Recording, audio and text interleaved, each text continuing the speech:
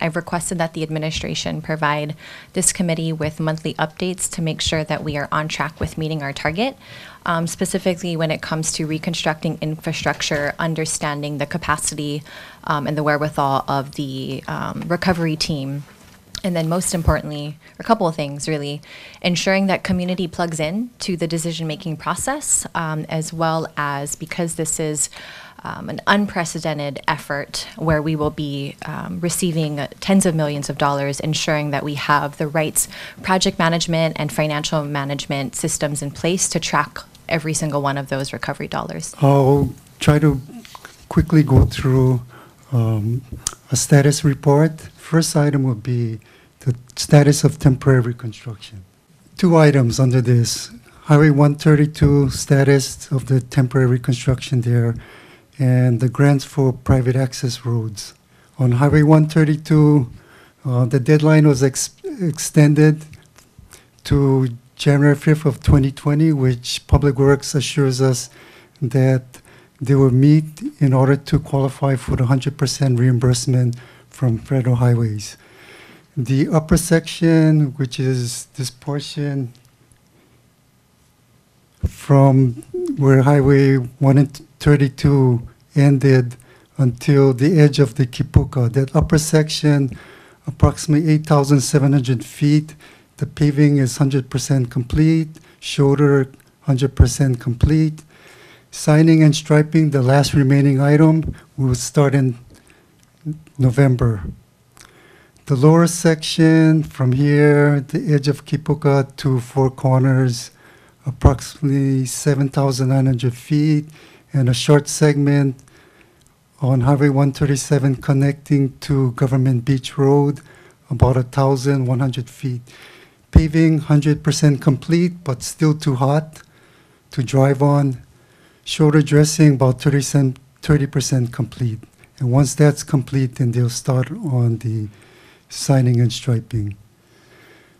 So there'll be uh, the best estimate now from Public Works is possibly opening about Thanksgiving, at least the upper section, and they'll assess at that time whether the lower section is drivable.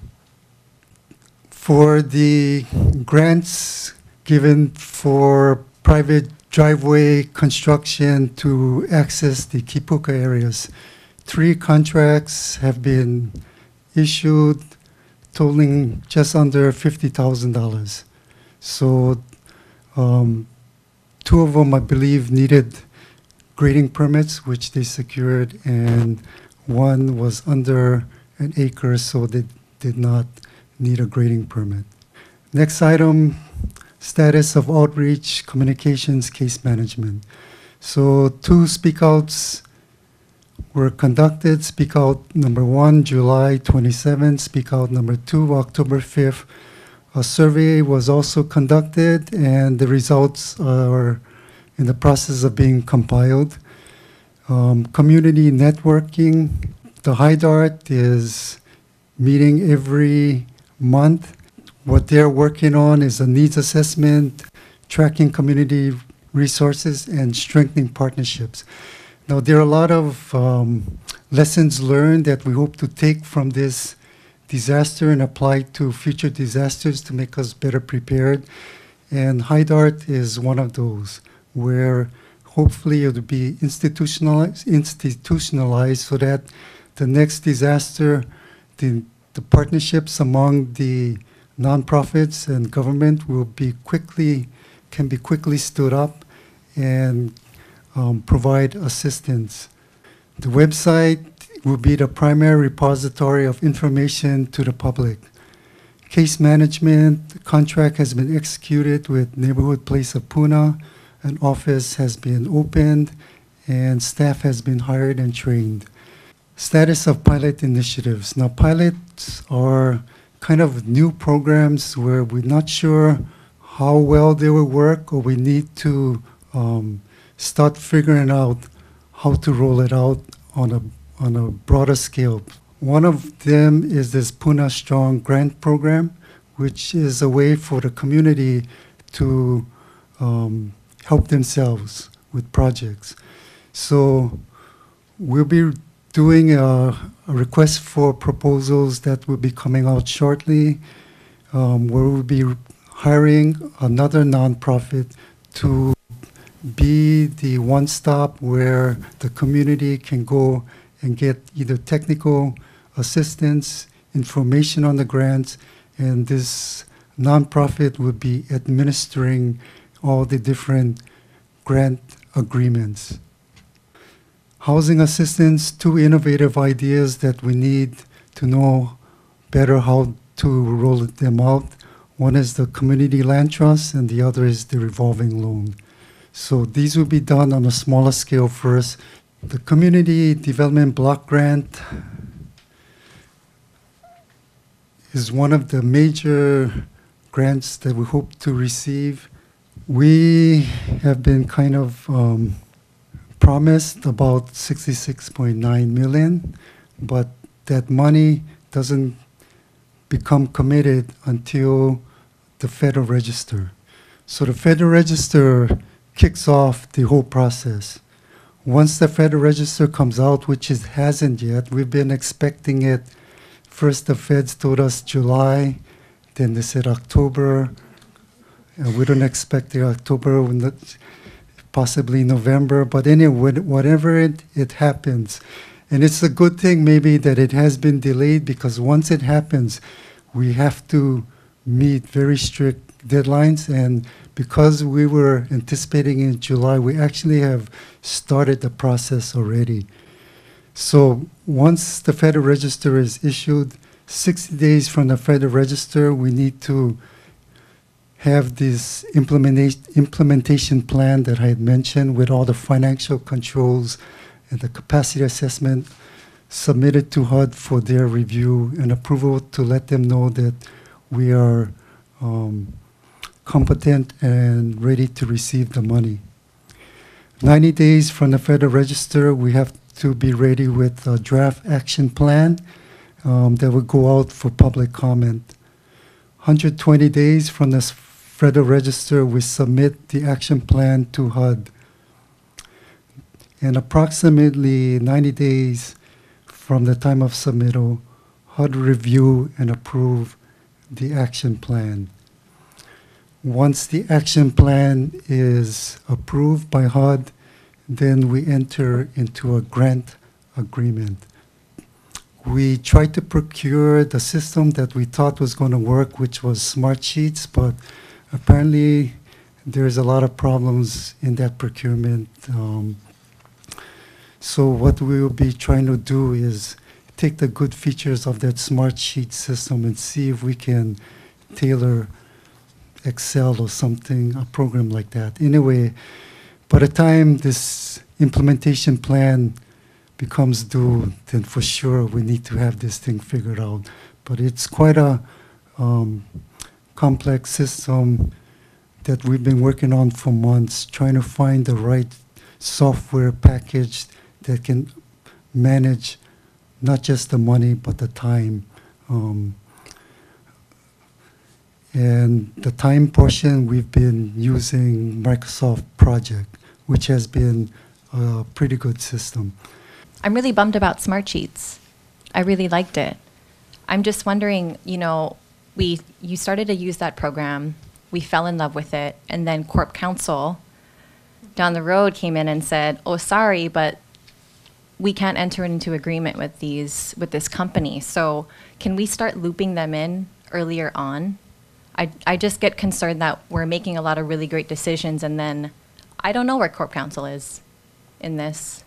Yeah, no, that was um, a good call by them. You know, they had they had to look at um, protecting our.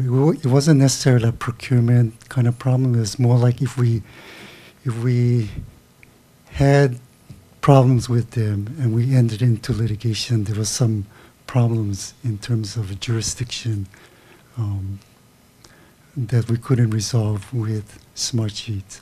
One reason why we want to make sure that all these systems and the and the duplication of benefits and all those kind of technical detail requirements are put in place is because we want to avoid here where grants were given out, the government does their audit, finds mistakes, and they take the money back. That term is clawback. And that clawback is something we definitely want to avoid.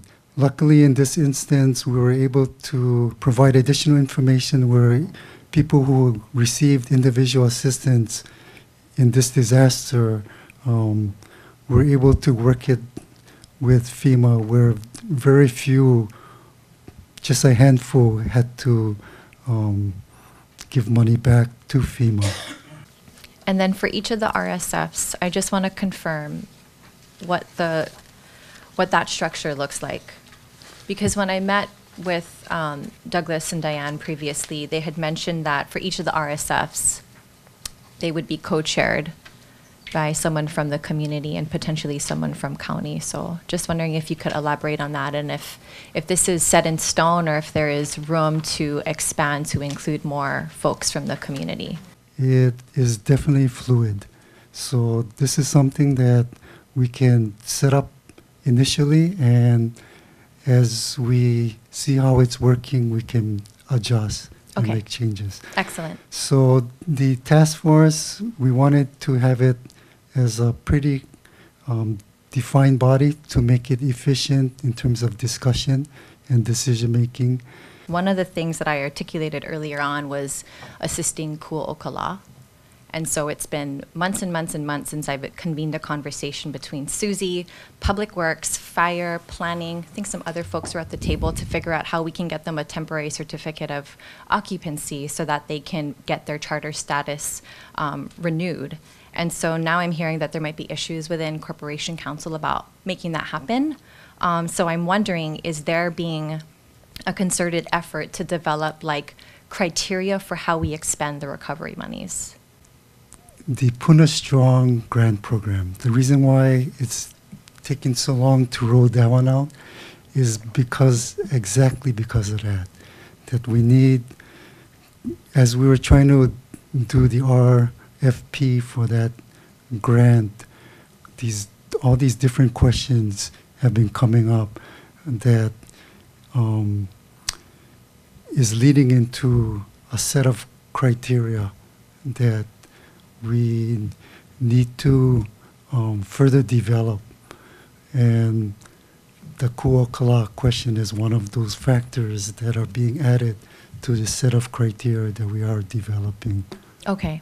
Is that being developed by scratch or are we learning on are we leaning on other jurisdictions that have experienced natural disasters in the past? I feel like this is a place where FEMA can step in and provide that technical assistance and also make the connections to other municipalities that have may already articulated this sort of criteria and so we can use that as a model and just tailor it based on our our local code and state statutes. Mm, no, that the issues that we are facing and the criteria is not disaster specific.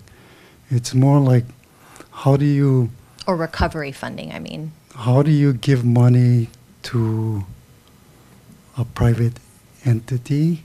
Right, and so I'm saying, don't you think other jurisdictions might have Mm, grappled with that in the past? It, it's it's it may be, but it's not just recovery money.